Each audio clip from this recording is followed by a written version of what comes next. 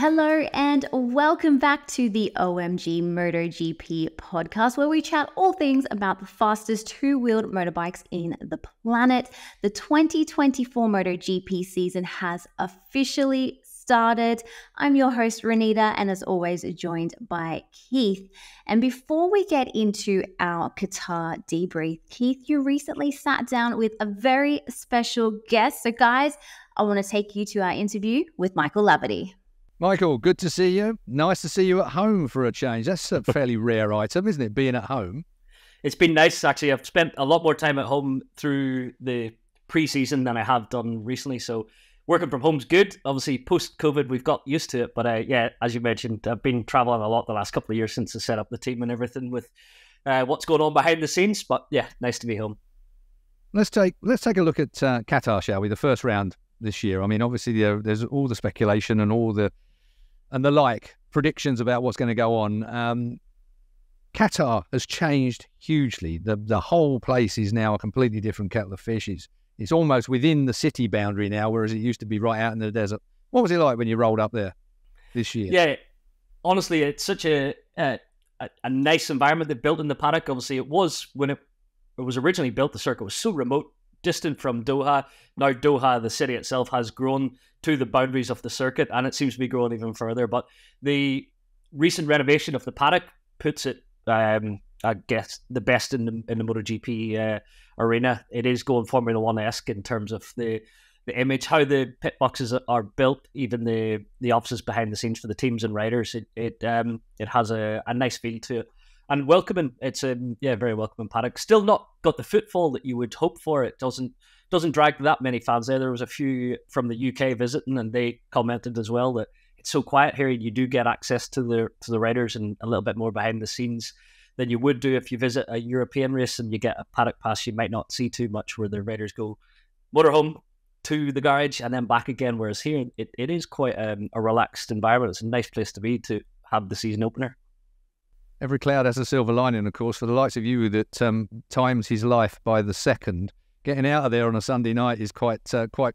quite easy to get to the airport, and you can get home by Monday morning.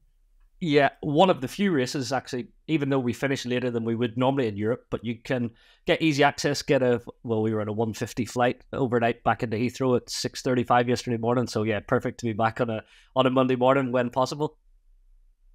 Let's talk about um, Moto 3, Moto 2, but First of all, if I can, let's talk about MotoGP, Moto Grand Prix. It just doesn't seem to be quite the start to the year that some of us were expecting. For and sure. I'm wondering from your technical expertise, and you are quite analytical on these kind of things, whether aero and launch control and all these things has actually pulled MotoGP back into the sort of Formula One arena, if you like, where there isn't that much passing. And even with the expectation of a great race, and we really had it all, I really was expecting something fantastic this this week. It isn't as good as Moto 3 or even Moto 2 at the moment because we just don't see the passing. Is that because riders and these bikes, as they are at the moment, can't make those passes? Unfortunately, that seems to be the case. So we, we hyped up the, the potential battle because we've so many contenders lapping at a similar pace. So all of a sudden, on paper, you've got 10 potential race winners and you think this is going to be a fantastic race. But unfortunately, it ends up almost like a time trial. So the rider who leads halfway around lap one, they have control of the, the destiny of the race. So the rider ducking in behind will overheat their front tire if they're too close and they need to immediately make an overtake. And it's so difficult because the braking zones are, are less, they're, they're coming in faster they're stopping quicker because the, the the bike's lower. It's more stable with all the, all the aero, so the window to make an overtake on the brakes has sort of gone.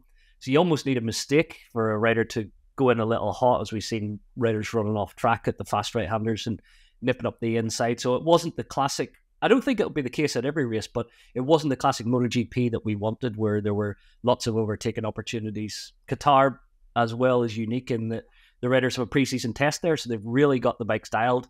So the the scenario when you're in Europe and you only have a Friday morning session that is free, then Saturday afternoon, although it's it's got a window there where you can work on setup, but it generally the last 15, 20 minutes are qualifying through to Q2. So it's a pre-qualifying session. Sometimes weather interrupts. So you arrive with a few more question marks on Saturday afternoon for the sprint, Whereas now these guys had everything dialed. And it is aero's a problem. I think lowering devices as much as aero, because you're never putting the aero back in the in the bottle. The genie is out. Whereas lower devices could be banned, and I think that would help the tire pressure scenario. Aero's obviously going to put a big load in it, but Michelin are bringing a new front tire that hopefully will cope with those aero loads in the future. But yes, something will change. I'm almost sure of it when the rules change in 2027, but we've got a long time until the the next generation of MotoGP rules evolve. So we we hope the Michelin front will fix it for 2025 and that it's not the first answer on the riders' um, minds after they finish the race that front tire temperature went too high, couldn't overtake, couldn't stay in the slipstream. I, I loved seeing a rookie like Pedro Acosta just making those overtakes, just staying in the draft, and that was the racing that you want to see. But he learned from his mistakes, and he won't do that in future. He'll sit out of the draft. He'll make his passes whenever he can on those key moments. So yeah, it becomes a little bit more strategy involved, which is a very Formula One thing, and not something we want our sport to go down that route. Well, you mentioned Pedro Acosta, and it was a bit of a disaster for him. He was the exciting uh, mover and shaker early on, and you're right, he just burnt his tyres out, and he ended up where he ended up. Um, of course, the other big name that comes to um, round one was Marc Marquez on the Gresini Ducati for the first time as well, in a race for the first time. Um, he uh, might have benefited, it looked to me from, from where I was watching, from Raul Fernandez having the problem that he had on the new Trackhouse bike when they delayed the start, because it looked like you mentioned the ride height adjustment. It looked as if Marquez had got a problem with his ride height adjuster at the start, the original start as it was to be. Yeah, I seen Frankie Carchedi denied that one yesterday on Twitter when asked the question. But yeah, the problem is they're quite complicated when they roll up on the grid to get the front of the bike down, the rear of the bike down, engage your your launch start device in terms of the limiter and torque control that the the engineers have programmed in there. And if it doesn't uh, work, then they're pretty difficult to start and can be dangerous, as we've seen in uh, some instances where the lower device is stuck down. So yeah, Marc may have had a had a, a, little bit of luck on his side there if, if that was the case that he was having issues. But yeah, it's something that I think has uh, safety grounds in terms of when they reevaluate the rules to throw out the lower device because of these issues that happen on the grid. Any surprises to you? I mean, anything that was unexpected over the over the weekend, apart from the weather, of course, on on the Friday, which may may again you talked about they, may well have tested there, but of course the track changed hugely from uh, day one when we had a lot of rain. Um, it does put the old MotoGP boys off a bit, doesn't it? Because their their test session really is down to the second. Everything is pre-planned to to get to the the race on uh, Saturday and Sunday. Yeah, exactly. And on a weekend such as uh, you normally get in the desert, you don't ever anticipate. So even how you manage your tire allocation, you're always thinking you're going to use those extra tires on a Friday afternoon. So yeah, they had to uh, they had to go back to the drawing board a little bit. I do think that the there wasn't too many surprises. I think we all expected Ducati to be strong. We expected Aprilia to be there and, and KTM as well. The Japanese manufacturers have moved closer. There's no doubt about that. But unfortunately, the the bar's been raised again by the Italians and the Austrians. So the game's ever evolving. I think Brad Binder was really impressive. I'm slightly, I know it's only round one, but slightly worried for Jack Miller. He's fast and he's there. He does a great job for KTM. But the problem is when you have Pedro Acosta coming into their umbrella, although it's a KTM branded GasGas, it is um, it's worrying for Jack's future because there's a lot of Moto Two riders looking those seats, and yeah, you you know a few riders will be feeling the pinch. So um, I think there's such a high level in MotoGP right now. Uh, it's it's going to be a, a, difficult season all round. I think we're going to have Aprilia's at the match some weekends. Maybe it doesn't look like they fixed everything in terms of the consistency over 21 rounds.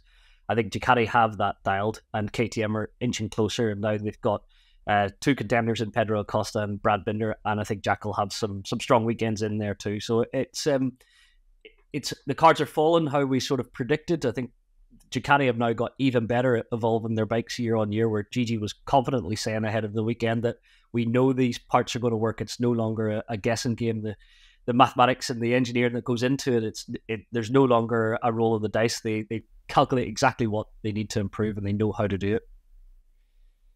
In your opinion, and from what you're seeing at trackside, um, the concessions, the new concession rules, which are brilliant. I mean, I think this they had to do it, and they've done a good job as far as I'm concerned, rules wise. Can you see Honda and Yamaha, particularly Honda, but Yamaha maybe? Can you see them making any step during the course of this year? I do. I'm a fan of the concession rules, and I do see already there's progress from Honda. I think uh, it's going to take a little bit of time. Listening to Johann Zarco speak, the engine's strong, the front end's better, grip's not there. They have enough tires in their allocation now to test with with Zarco, with Marini, with Mir, with uh, Nakagami. So they'll they'll have their riders on track alongside Stefan Bradl and the Japanese. They will uh, come up with a new aero body, which they'll be able to introduce. They'll be able to adjust the engine specification throughout the year. So they're no longer tied as they previously would have been. So their evolution will continue throughout the season. They'll get closer. I don't see them overtaking any of the European manufacturers this year, but if they put their riders into the mix to challenge them in year one of the new concessions, that will be a result. Uh, Yamaha, again, very similar story in terms of the, the progression is there. You can see it, but there's still that little bit of drift. And it is a second race where they, they're not massively um, that far behind on a per lap, but it ends up 11, 12 seconds back at the end of the sprint. And you're thinking you're just not quite there to challenge the European manufacturers, and it is ex world champions Joan Mir and Fabio Quartararo battling with their uh, their Japanese um, stablemates. So yeah, the the Japanese manufacturers are are making inroads. They're changing how they work. They're changing crew. They're pinching engineers from other manufacturers, which is something they didn't previously do. So I think their their way of working that worked for two decades or more in terms of how they developed and how they brought parts to the track, they've had to change that. The the dynamics that the Italian and Austrians have brought, where they they engineer something, they bring it to the test bed, and then they put it on track and bring it to a race within a three four week period. That's um, that's something the Japanese don't do, but they're starting to now. It's not an easy arena anymore, is it? There, if it ever was. Um, the fact of the matter is, everything is so close. The problem is, I suppose, as well, is is all these manufacturers make power or make grip or make differences in different places on the racetrack, and it's where the majority have the most advantage, which is Ducati at the moment in most places. Um, we've seen Yamaha that's a bit faster now than it's ever been, but it's still not playing to its own tune when you're in a group of motorcycles. I don't. I think it's difficult for people to understand that it's, it's all very well doing one lap, isn't it? You get you get a fast time one lap when you're you're left alone to pick your own line, your own braking points, your own acceleration points, and so on. Um, but as soon as you've got a whole load of fast motorbikes around you that are miring effectively your corner speed, mid corner speed, whatever it might be, that's where the, the Japanese manufacturers seem to be at sea. It is a case of, well, especially Yamaha because they are the only inline four manufacturer having the four cylinders across the frame. It gives them a strength, especially as you mentioned, the, the chassis rideability and the feeling they have to carry a high corner speed. Flowing lines, which worked so well for, well, Valentino Rossi, Jorge Lorenzo, Maverick Vinales for a, a number of uh, seasons. It it can deliver results, but when you're mired into a group of 300 horsepower Ducatis, you've got eight of those around you. You've got Aprilias up there with horsepower KTM's as well. You can't run your own lines. You can't ride your own race. You can't take advantages from the package you have. So it, it is changing. I don't think the inline four is dead yet. I do think there's still ability from uh, how the how the engine creates grip how the chassis creates grip, and I think grip is the the key right now. Using the spec tire, you know, everyone's on the, the, the same rubber, so learning how to to extract the maximum to get the propulsion off the corner, whether that's with the lower device, with a smoother torque model or a smoother engine character combined with your aero, not letting the bike pivot and wheelie and getting the maximum acceleration off the corner. That's where Ducati do it so well, and that's what KTM still can't match Ducati in that arena. They they have a, a, such a high horsepower engine, but they put it to the to the ground like it's a little Moto 3 bike initially. The first touch of the throttle is so soft, the riders feel the grip, the traction, and they just launch off the turn. And the front wheel hovers off the ground a couple of mil. Just fork extension is perfect. They've got it all dialed in, and it just works, and it makes it look physically easier for the rider. But you can see how they leap off the turn. It's uh, impressive to watch. But it's a long season, and different motorcycles will suit different tracks to a degree wherever we go. Um, how do you see the next round? I think Portimao is a different animal because in Qatar it always seems difficult for the rider to make a big difference. You, are sort of hamstrung a little bit in that you're managing your 22 liters of fuel, so you have to be on the maps that the engineers recommend because you'll run out of fuel if you go aggressive. Likewise with tire uh, wear. So I think when you go to Portimao, the elevation it's actually a, a narrower racetrack, and a rider can dig deep. They can take the bike outside its comfort zone. You know, when you watch a Ducati rider, and watching Marc was the one that really stood out. He looked like he's riding in a Scalextric type way, which Marc never does. You know, keeping everything in line, fast and flowing, but but in a controlled manner. And Marc never rides controlled. So I think when you go to the likes of Portimao, he can take the bike outside of where it's supposed to work, and he can start overriding it. At the minute, he's not. Maybe overriding it won't work with Ducati, but I think you'll see a little bit more of the the rider input around such a, a rolling racetrack mm. as Portimao slightly worrying. Marc out of control on a Ducati at Portimao. I think we've seen some of that before, past history. Michael, it's been a real pleasure talking to you about Qatar. Obviously, um, hopefully, we can catch up with you more and more and more as the year goes on. I mean, I really appreciate you giving us the time on OMG MotoGP. Um, thanks for joining us, and uh, we wish you all the luck. And of course, you can catch up with Michael later on on OMG MotoGP because we will be talking to him about his own team, about Moto 3, and Moto 2 um, as the year progresses. So um, keep an eye out for that. Subscribe to us if you would, and that will ping up as soon as that drops on OMG MotoGP. Oh, that was awesome, Keith. I really loved the insight that Michael gave to us from being actually at Qatar. What was your thoughts from the Grand Prix? I think that I'm going to pick up on the the aero and um, launch control type scenario that we have in MotoGP at the moment. I mean, everybody is beginning to get fed up with it, to be frank with you, riders, teams, and particularly the fans. I think when we've got a situation where, you know, the racing isn't quite as good, when you've got Moto 3, which is always consistently good, you know, you can argue that MotoGP bikes are all within a second now of each other, effectively over over a, a complete lap. Um, Moto 3 is always like that. Um, so it's not about the performance of the bikes or how close they are. It's about whether you can make the passes, whether you can make the opportunity work for you. And in Moto 3, you still can because aero isn't such a major thing. Launch control is not such a major thing. Rah, rah, rah. Um, so it's a situation where we, we've gone slightly wrong with, with the rules package. Know, World Superbikes is coming of age again, isn't it? World Superbikes is looking really, really good. Phillip Island, you were down at Phillip Island for, for World Supers, and it was a great race meeting. Some of the you know, Alex Lowes passing, you know, Bautista over Lukey Heights. I mean, you know, anybody, it, it was a little bit special. And we want that back in MotoGP. Uh, we've got it in Moto 3. We've got it to an extent in Moto 2. And we want it back in MotoGP. And I think it is about a contention. We've got a rules package that's coming up in 2027. Um, as you heard Michael say, we've got a, a, a tyre scenario that's going to change for next year, which may give us a, a slightly more competitive um, situation. But uh, we need passing. We need rubbing is racing. You know, to use a NASCAR terminology. Now that we've got Justin Marks in Trackhouse, we'll use rubbing is racing, boy. So we've got to be out, we've got to go rubbing again. I'm afraid it's it's got to be that way. It's so um, important because obviously with the whole tire pressure rules that are coming in, and now you know these Ducati or the European manufacturers are having on their dashboards saying what percentage of the race that they are in and how's the tire going? Do they need to slipstream? Do they not? And it's just all these extra things that are incorporating for the rider where you're right, then there's not the real racing happening anymore. I mean, we saw a little bit with Pedro being his first race, the rookie, and we'll, we'll chat a bit more about him. But majority of it, it's all it's all strategic, right? Well, yeah. The only reason we saw Pedro um, racing at the level he was racing at, and, and maneuvering in and out of all the big names was because he hadn't yet got time management in his head. And, and that's why he fell away at the end of the race because his time management was completely wrong. Qatar is a is a is a track that you need time management management and also fuel management. It's a it's a track that, that uses a lot of fuel. So at the end of the day, um, Qatar is not representative, I don't think, of the rest of the year. Um, uh, I mean, it's Grand Prix of the year from a from a rider and a team perspective now, with the facilities that have changed the way they have, and so on. And it's a great race to start the beginning of the year with. Biggest crowd that they have, 40,000 people over the entire three days.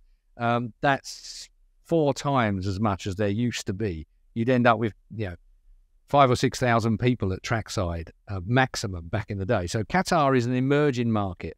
Um, the amount of money in Qatar is important to the sport. Um, I'm going to dodge the politics side of things and, and, and on all the other bits and pieces like human rights. I know it's something that we shouldn't dodge, and it's it's not I'm ignoring it, but the point is I want to look at it from a, a moving forward point of view.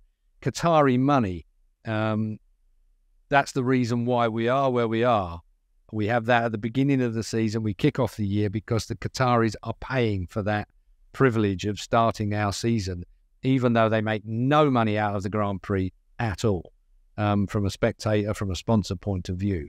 Um, you know, is that right or wrong? Well, as the sport is at the moment, we're just going to have to take it as it is.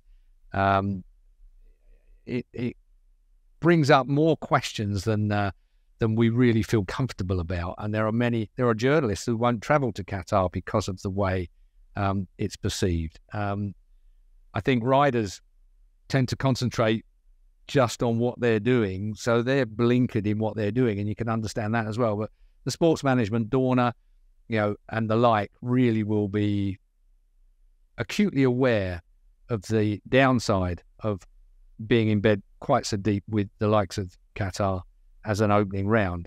Um, but as I say, that's a story that I said I wasn't going to talk about, and then I did, which is so I... me, Nita. I actually thought it was really interesting from a fan's perspective to hearing Michael talk about the fact that Qatar is almost a bit more fan friendly. You can get up close and personal. I guess I get to experience that here with the Australian Grand Prix. It's not a big paddock, it's very small. You see the riders walking around. To hear that at another race when you experience these big European paddocks with the trucks and the hospitality and all that fancy setup, it sounds like it's a bit more relaxed, let's say. Well, yeah, I think it is relaxed because of the, the you've probably got more people in the paddock at Misano or Mugello or somewhere like that, an Italian round, than you got standing on the terraces at uh, Qatar because somehow, despite the fact that Michael was talking about the restriction of tickets and the like as well, you know, somehow there doesn't seem to be that kind of restriction when we get to Misano because every Italian that's worth his salt has got a free ticket from somewhere. I've never quite worked that one out, but someone will be able to somewhere. Um, I don't know. As as we move on, I, I think that that it's Qatar is not a great example. When we get to Portimao next time, that's going to be a bit more cut and thrust. I mean, I'm looking forward to the likes of Marc Marquez unleashed um, in in the likes of Portimao. I love Portimao. Um, there's a racetrack that was bordering on bankruptcy just a few years ago until the pandemic came and Formula One was looking for tracks, and suddenly Formula One was at Portimao, MotoGP was at Portimao, and and luckily it's kind of saved a group of people and, and a country, if you like, a, fantastic Grand Prix, um, and long may it last in Portimao. Um, what else was came out of, of, of of Qatar? For me, Raul Fernandez, who was my bold prediction here on OMG MotoGP. Raul Fernandez was there or thereabouts. Um, he had a technical problem on the grid. Um, stuck his hand in the air and held and delayed the start um, and had to start on his number two bike, as it turns out. So it was a significant um, technical problem. Um, in the end, Trackhouse, the, the new Aprilia team, run by Justin Marks from NASCAR, um, ended up with just one point when I thought Miguel Oliveira and particularly Raul Fernandez um, looked like they could achieve much more than that in their first Grand Prix. But nevertheless, they'll they'll be thankful for the one point, their opening point in the championship in their, their first ever Grand Prix. And I like Trackhouse and the full on American livery, I've got to say. I actually wanted to ask your opinion on Aprilia. Aprilia came into this weekend as being the favourites. I think even Marc said that he expected Aleix to be up the front.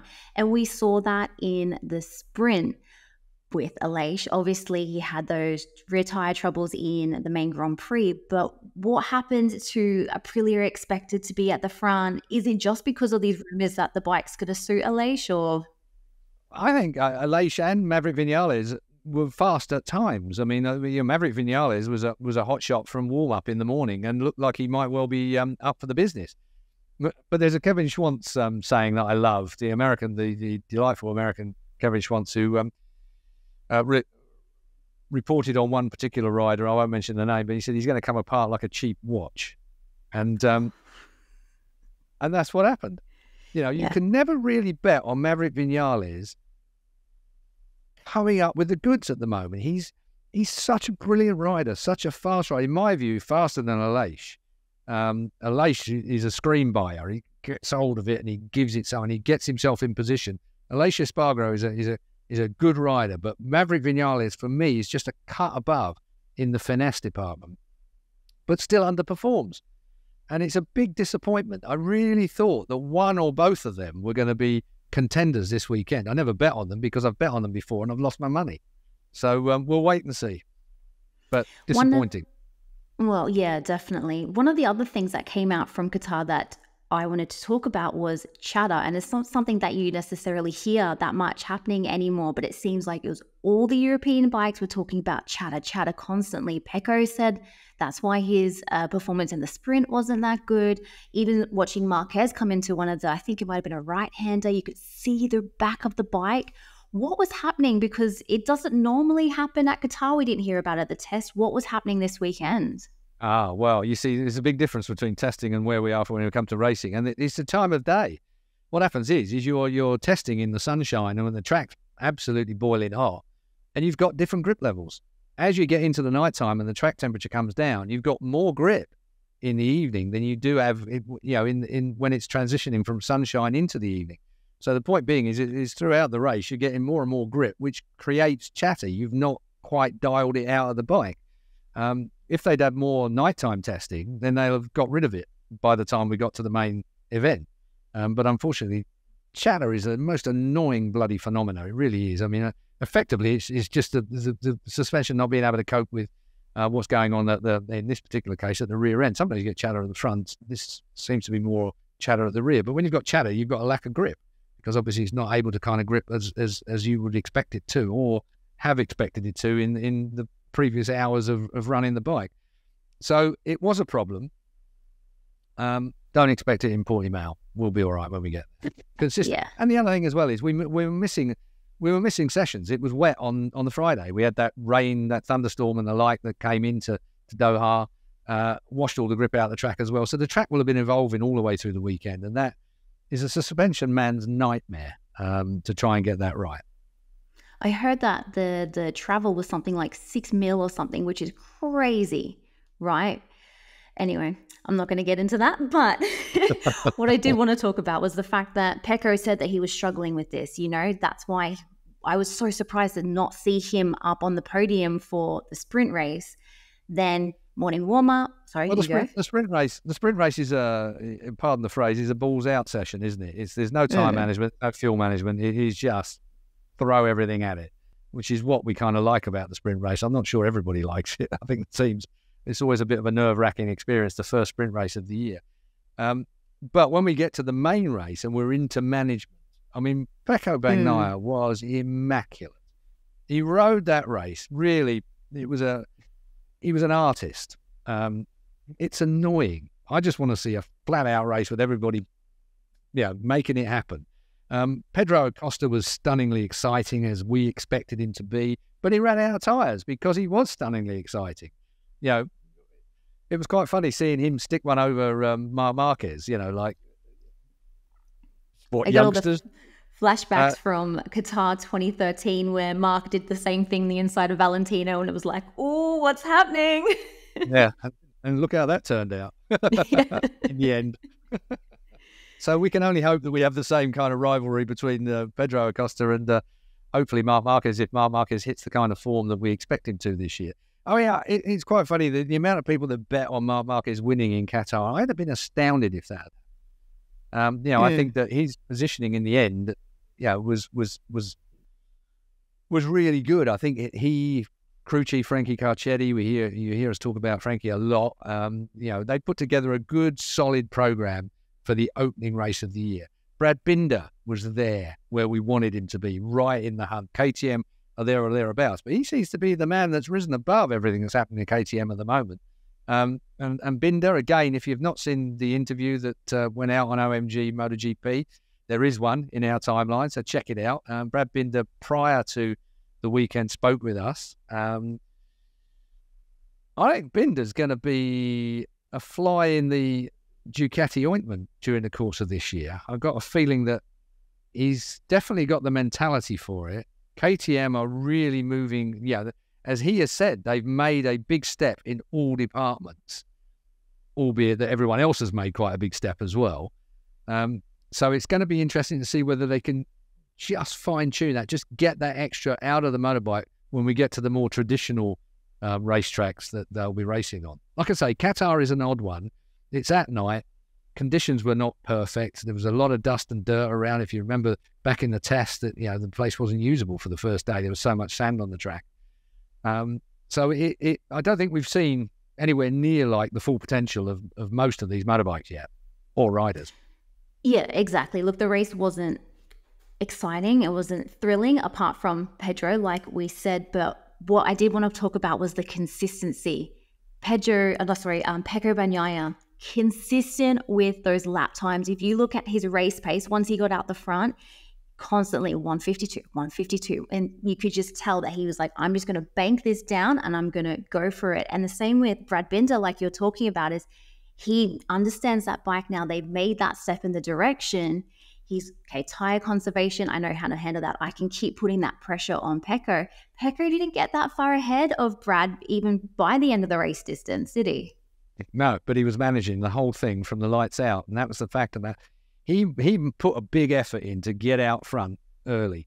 That takes you know you got you got to be on it to, to to make that move to get yourself in front and manage the race from the front with a full tank of fuel.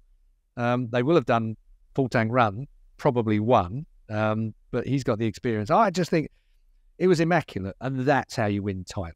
That is how you know if he wins a third title this year, and you've got to say with that performance of the weekend, you know, fully fit. Jorge Martin is still the man that's going to take it to him. Um, but again, Jorge Martin's style perhaps he uses a little bit more of the motorbike than, or tyre particularly, than, than Pecco does. Brad Binder was renowned for being able to sort of, even though I've, I've, I've spoken to him about it, about he's got an aggressive looking style, but it's actually quite smooth on the bike. So he's got a motorbike at the end of a race as well. It's going to be interesting to see whether anybody can match the likes of Pecco Bagnaia. Portimao is going to be, it's like a motocross track. You know, Portimao is, is a, um, it's a bike racer's, you know, absolute paradise. You've got Phillippi and Portimao, Mugello. They've got certain corners in them where you have just, you've got so much fun on the thing to make it work. And we'll see what comes out when we, when we get to Portimao. I'm really looking forward to Portimao. I don't think we're going to have quite the um, lack of cut and thrust that we had at the, the weekend. I think that that is really part of Qatar's makeup that they've got to manage motorcycles. You know, they were miles off the pace, really, um, through probably two thirds of that race, um, which surprised even me. We were expecting it, but it was a, quite a long way off of what they, those bikes were potentially capable of doing, which again is why we had the Acosta factor. He was right there in it and, and sticking out the inside and, and doing what he does. Um, but then he ran out of motorbike, um, which is what you're going to do. But when we get to Portimao, that ain't going to be the case, I don't think. Oh, no, I'm so excited to see Pedro Acosta at Portimao. One thing that I did find really interesting in the post race debrief, though, Jorge Martin said he still doesn't feel completely comfortable on the GP24. And you could kind of see that in his riding style, right? He he's there, but he's not there. 24 bike. With, this is an old, you know, from an old racer point of view, and you don't get any older than me, um, is that when you get your first factory bike, you know, you, you think, I've got my factory bike, I've got the full on, you know, it's the dog's what's it. And suddenly you get on it and you go, oh, crikey, this ain't quite what I was expecting because it is a cutting edge, brand new motorcycle that has nuances that need to be dialed in. You need to work out how that motorbike is best going to, it's still going to be, it's going to be the best bike because the factory are behind it. They've made the modifications chances are what you've got is the likes of Marquez and the rest of them that are on motorbikes that are a year old. Um, they've got the data. Yeah, they've got all the information they need when they get to these early rounds. But by the time we get to rounds three, four, five, the 24 bikes are suddenly going to be coming into their own because suddenly they've got the data. The the the, the, the data guys have, have downloaded everything they need. They've made the comparisons with everyone else that's running 24 bikes, and so they will be finding their legs later in the in the season, and the older bikes will perhaps be falling behind. You know, everybody says how much better the bike is, but they haven't quite got the parameters worked out perfectly just yet. It will come though. I, I just, I, you know, I looked down when we were talking about Acosta a minute ago. I, I loved the quote that he he gave. I think it was to TNT to the old BT. Just put your balls on and go. Now that, so that, that is a phrase worthy of one of the best phrases from MotoGP over the years, I feel. Uh, and I think that kind of indicates where we might be going with uh, young Acosta. he's uh, he's not shy to speak his mind, is he? Which is exciting. He's um they're calling him like Valentino used to be when he was younger, and he's exciting in the press conferences and in the interviews, and it's not cookie cutter, boring. He's he's definitely gonna tell it how it is. I think. I, I think also, sorry, I must have sort of disjointed this is, but I ought to mention Trackhouse as well. They got their one point, but one of the reasons why Miguel Oliveira was a bit behind is he had to do a long lap penalty that he'd inherited from before. So Oliveira had a long lap penalty in the middle of there, which which pretty much kills your race if you've not got the tow from the main men at the at the end of the day. So um, that's another reason why there was only a point for Trackhouses this weekend. Yeah, no, definitely not the start that Miguel was wanting to his 2024 season. But hopefully, as he does go to Portimao next week, next week, next month, oh, it's all yep. blending in the next round anyway. um, hopefully, his Portimao 2024 race is a lot better than his 2023. Yeah, I mean, you you want the thing about the the start of a season that's as long as this, 42 rounds. Um, 21 of them scoring full points, half of them scoring half points, obviously, for the sprint races. But you do not need injury. You know, the, the Franco Morbidelli at the moment is suffering again at the beginning of the year with an injury. It's just, you know, a disaster. When you've got rounds that come thick and fast like they do, you know, by the time, in fact, the, the, the Grand Prix at the weekend at Qatar was the first time since the beginning of last year that we had a full grid. Yeah, there was not a oh, grid yeah. full of the full on, you know, entry list um, for, for, for a year since we last had a full grid because of injury, because of the amount of riders that were taken out during the course of the year. So that will have a major effect on on the championship by the end of the year, which is a, another reason why the Pecco Bagnaias of the world that, that, that, that, that gave that control. I've been guilty of not considering Pecco Bagnaia as an alien, a phrase that we've, it's an old fashioned phrase really now, that, that it's it's a motorcycle racer that's doing something that even the top line motorcycle racers go, huh? How's he doing that? You know, it's a it's a kind of, that's an alien. He's somebody that does something on a motorbike that you you just can't recognize even as a motorcycle as a fellow motorcycle racer. Um, and we, I, I've I've been guilty of saying that, that there aren't really any aliens anymore because everybody's virtually the same, doing the same thing. Maybe that's aero, maybe that's launch control, all these other devices that they've got now that's ground that out of the out of the system, if you like. Um, but Pecco Bagnaia's way of riding a motorbike this weekend, if that continues, that may be the new generation of alien. It's the guy that's able to control himself in the circumstances that these new devices are making you work like, how, how you have to be on a motorbike now to get the best from it. Maybe it's not the guy that's, you know, got the front end tucked and the rear end hanging out and, and you know, tank slapping his way all the way down the front straight. It, it, it's a different style of motorbike racing. And maybe Pecco Bagnaia is an alien. It's just different. I mean, this year's going to tell if he can take that third consecutive title. Are we going to see Professor Pecco back on top? Is this the new way to ride MotoGP? Time's only going to tell, right? Yeah, the contrast is Marc Marquez. It's uh, it's going to be. it was interesting to see Marc. You would have said that Marc was a little subdued at the weekend, but I think he's still getting the swing of that Ducati. Um, yeah, testing is testing. We're now in our first race. You know, longer distances, difficult track. You know, dark. You know, under floodlights, so on and so forth. I thought Marc was quite subdued. Um, Marc in the past would have been, you know, hanging the thing out, you know, crashing at every single corner um, and and finishing on the podium. I think he was well within a podium. I think it, there was a podium within him. Um, should he have wanted to push even harder? Uh, but I think he he definitely looked to me like a man that was using a bit of discretion. Um, can't believe I just said that in the same sentence as Marc Marquez. But but the point being is that that is going to come well as this season moves on. It's just a question of whether the the 2024 bikes just move away from him a little bit as as the season progresses. It's gonna, I mean, there. I think nuance is the word. We didn't get the races we were expecting. They weren't exciting um, in MotoGP, but I think analysing everybody and looking at everybody, looking at the timesheets.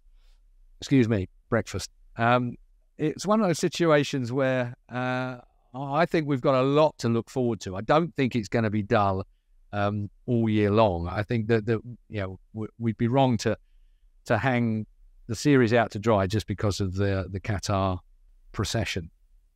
Oh, definitely. And I completely agree. Back to the the Marc Marquez point, you know, you mentioned Frankie Carchedi. He said it's going to take Marc multiple races to completely understand this Ducati.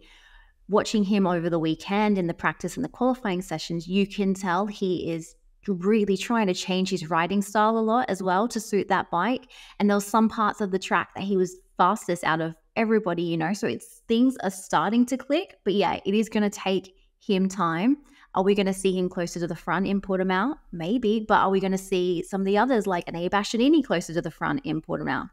Yeah, Bastianini, Bastianini had a bit of a disappointing. I say disappointing. Had a, a, you know, I was expecting Bastianini to be uh, more there or thereabouts for this one because he's he's always gone good at Cat, uh, Qatar before.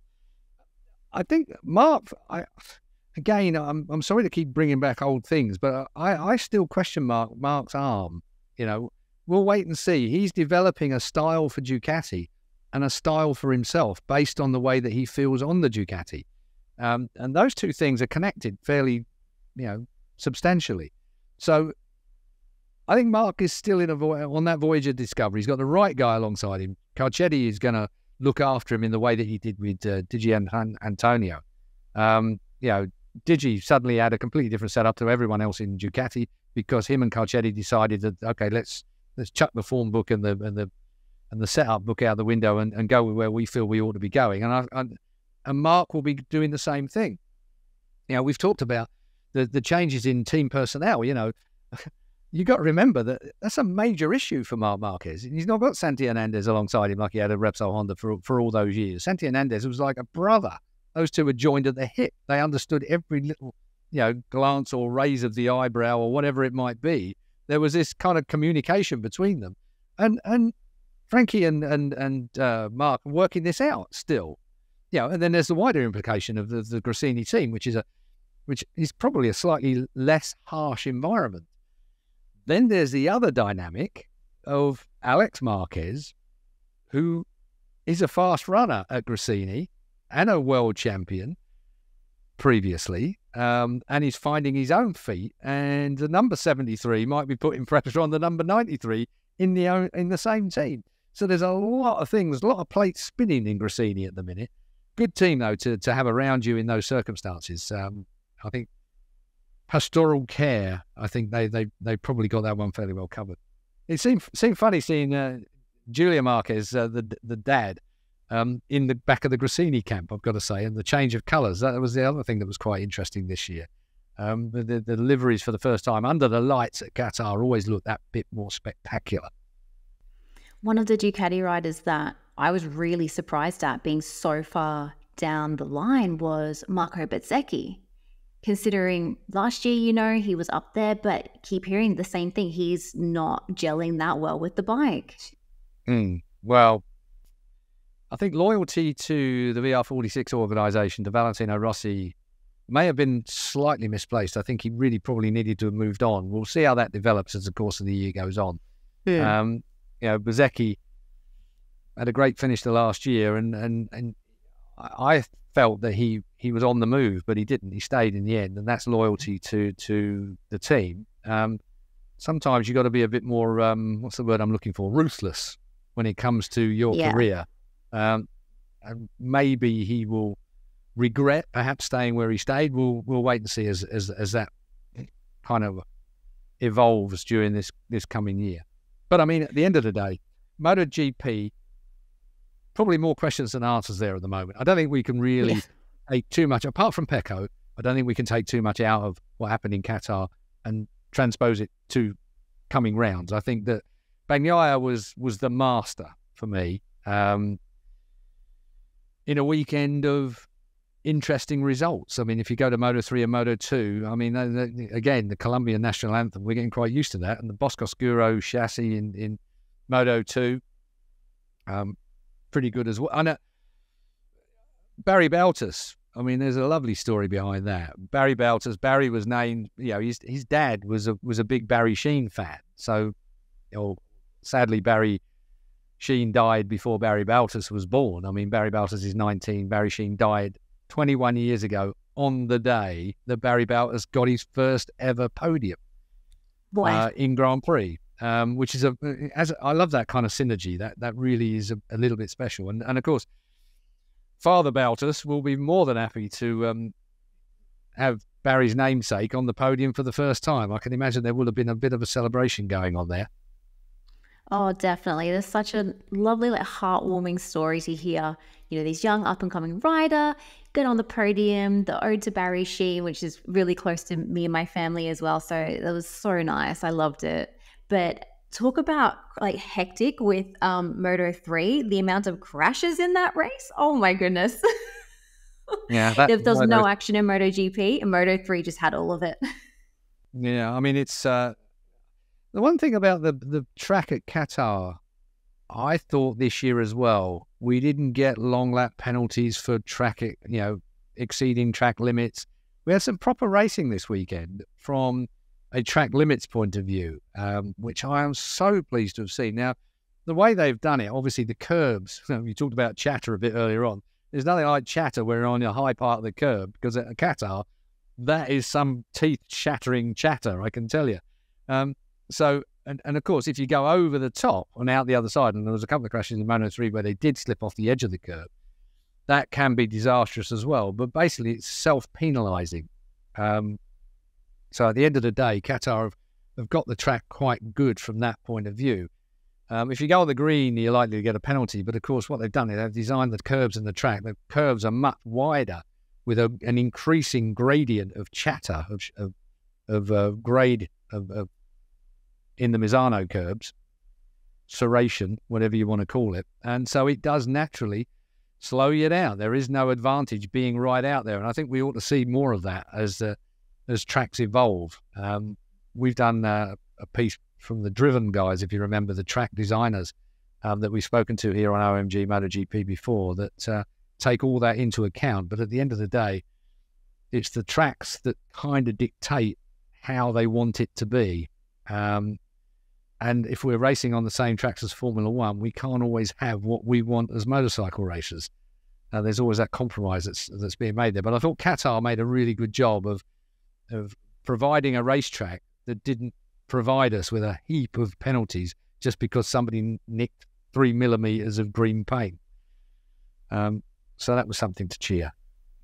I, I completely agree. When I heard uh, Simon Crafar talking about it over the the broadcast, um, finally we're not going to have uh, someone literally just touching the green and then oh my god, here's another penalty or here's a long laugh or whatever happens. So, no, I agree. I think they've done a really good job with the facilities there, the track, the broadcast, everything I thought was really, really good. But I think that just about sums up. Oh, sorry, what were you going to say?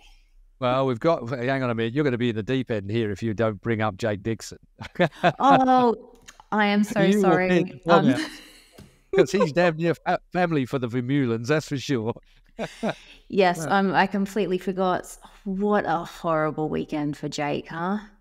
Yeah, I mean, Jake Dixon is is really the, the great British hope. Sorry if you're watching this from elsewhere and you support riders from other other countries around the world, but uh, Jake Dixon, from a British perspective, is really our our great hope for for the future, and um, and and a real disaster for him. And he, I mean, I, I, I, kind of I was sitting with a load of people at home here, and they, they kind of don't even flinch. Yeah, whoa, look at that! He's flying through the air. They have no clue how much that hurts when you land at that speed from that high uh, in that situation. And despite the fact Jake was declared as nothing broken and all the rest of it, he was still still declared unfit. To be declared unfit at Grand Prix is quite a big deal because you have got to be hurting really badly if you haven't broken anything to not be declared fit. Uh, and you know Jake would have had a go if, if they'd allowed him to have ridden. But um, Jake's, again, started the season just where he could do without starting it. And from British fans' point of view, we wish you well, Jake, and hope that um, all is cool for Portimao because you will be spectacular there. Oh, it's going to suit him so much, that track. I can't wait. Okay, any more Moto 2 that we need to talk about, Keith? No, I think that the, the Jake Dixon thing, I thought I am going to dig you out of that particular hole. thank you. I, I should have said I completely forgot, but thank you for that. But yes, I'm pretty sure that sums up our Qatar Grand Prix. MotoGP race wasn't that exciting. Pedro Acosta put a little jazz in there for us, but other than that, I think that sums it up. Let's head to Portimao. Let's head to the roller coaster, as they call it. As usual, guys, if you want to like and subscribe, like and subscribe to this podcast, please feel free to do it. Comment down below. We want to hear from you as well. Or feel free to send us an email. All that info is going to be in the info. But as always, Keith, thank you so much for chatting with me. I love talking all about MotoGP with you. And we'll catch up next time. Looking forward to it. Awesome. Thanks, guys. Bye.